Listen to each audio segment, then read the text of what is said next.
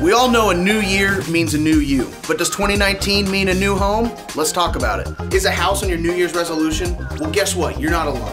Over 50% of renters under 50 strongly prefer to buy a house. But a lot of people think they need 20% down on a house. What if I told you you didn't have to get a conventional loan with 20% down? What if I told you there was a loan product that all you needed was 3.5%? That's crazy. The FHA mortgage is great for first time homebuyers. All you need is as little as 3.5% down, and this loan product, all you need to have is around a 600 credit score. There are also 0% down programs such as the VA or USDA, which offer up to 100% financing. Even if you don't think you have enough for a down payment, if you think your debt is holding you back, or if you don't think your credit is good enough, let's chat. Check out our blog post to learn more. And if you're ready to talk, call one of your local benchmark loan officers today. And that's it for today. Shut the lights off. Let legal have the rest of the time.